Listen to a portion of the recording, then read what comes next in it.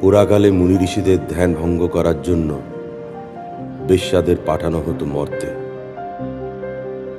তাদের বলা হতো অপসরা। তাদের আকাশ পথে নিয়ে যাওয়া হতো।